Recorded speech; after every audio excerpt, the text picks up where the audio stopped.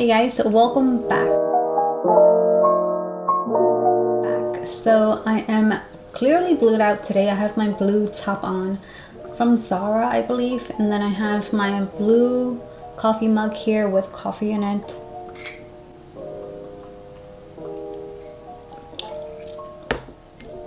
And then of course I have blue contact lenses on.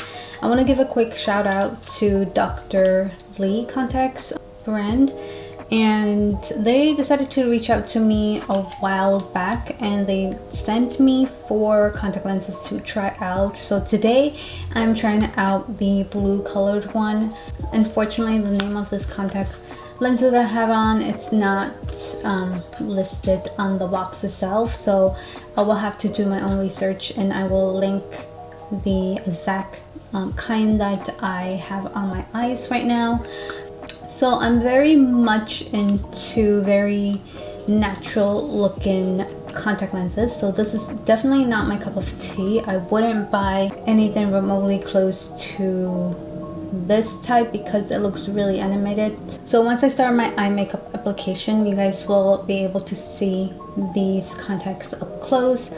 But so far, it feels really, really comfortable on the eyes but I just don't like the look of these contacts on me personally because I have dark brown like really deep dark almost black um, brownish color eyes. So anything that has too much pigment on the lenses itself like I see a lot of blue and like like dark grays on the lens itself it's gonna make my pupils look even more dilated if that makes sense. So so far i'm not a huge fan of it. I appreciate that brand sent me free items to try out but i'm still going to give you guys my honest feedbacks and not just you know um, tell you guys lies obviously. So yeah i'm not feeling these type but the lens itself feels comfortable. So i am finally playing with the pat mcgrath uh, venus and fleurs luxe quad and voyeuristic vixen. This is such a hard name to pronounce. If you guys are new to my channel I am on a makeup no buy for this year so you won't be seeing any new makeup related items on my channel for sure. So there's nothing new. I am just showcasing the items that I have in my collection already and the ones that are new to me. So this pot has been sitting in my eyeshadow palette collection for some times and I finally decided to take that bullet and say, you know what, I want to play with this quad today. So here it is.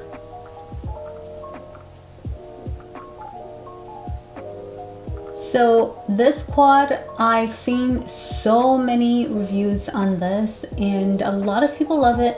There are some haters out there, however, who really don't like one of the shades um, within this quad and it's I believe the Rose Fire Nectar shade. There's a lot of love and hate relationship for this shade alone.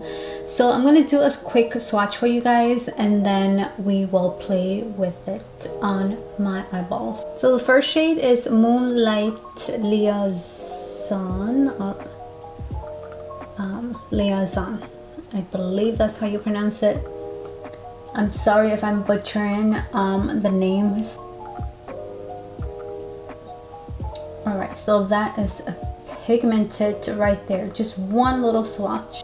Lord have mercy. So the next one that I am really excited about is the Rose Fire Nectar.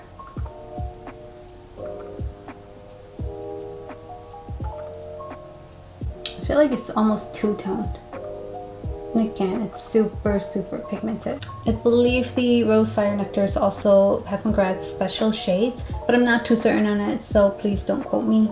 And then the last two shades at the bottom, we have after Dusk and Twilight Bronze. So again, this is Twilight Bronze. and After Dusk.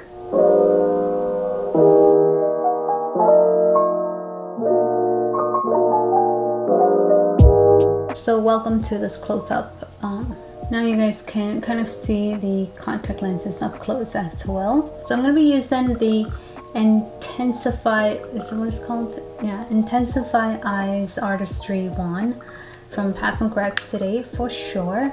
So I'm going to place down the After Dusk shade for my crease first as my transition color. I already have a base placed down as well.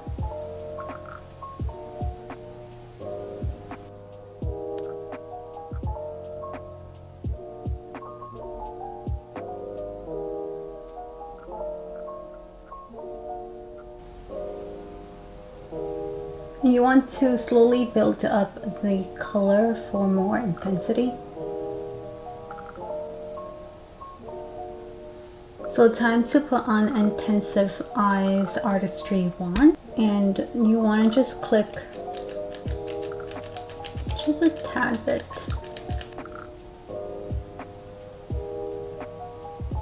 I like this triangle shape breaking off just a tad bit. So let's pack on that color. The Rose Fire Nectar The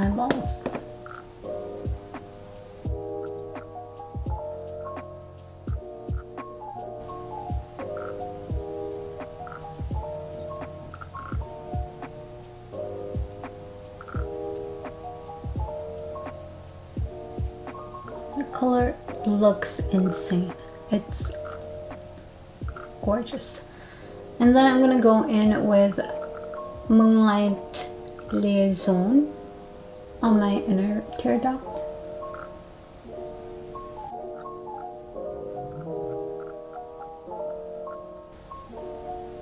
And of course I needed to use all of these shades so I'm gonna add the Twilight Bronze on the lower lash line.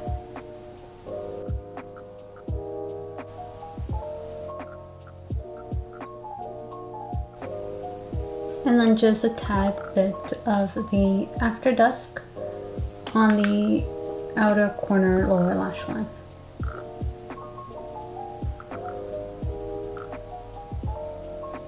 I feel like with this reddish tones and the blue contact lenses on, it makes me look like I'm a vampire. And I love vampires. Okay, so that's that. I'm going to apply on a mascara and a, maybe a little bit of eyeliner and then I'll be right back. So this is the eye makeup look that I have created using this quad today. I don't know how else I would use this palette. If I have to use this over again, I would just ignore the um, Rose Fire Nectar shade because this shade definitely overpowers and like rightfully so overpowers all of the other shades within this quad. Like this shade alone it's a very nice stand um standalone shade for sure. So although i think this is a gorgeous quad and i really love the outcome of my eye makeup look today I don't necessarily think that you need this quad in your makeup collection, especially if you are a huge Pat McGrath fan and you already have so many of her eyeshadow palettes. I don't think you're missing out if you don't have this quad in your collection per se. I know there are a lot of people out there who love this quad because of that one shade alone. And honestly, when I was watching reviews on this quad, I was drawn to this shade and even looking at it in person I'm just like in awe with the glitter shades. Every time I look at a Pat McGrath glitter shade, like I just want to keep staring at it all day long. That's how much mesmerized I am with the colors and putting it on your lids even.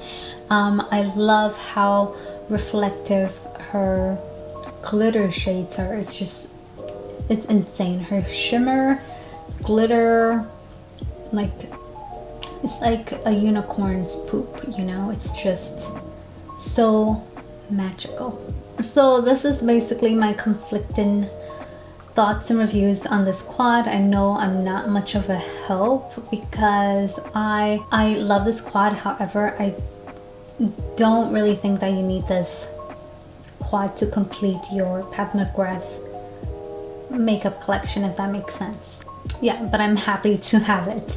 So but anyways thank you so much for watching and i will see you guys in my next video. Bye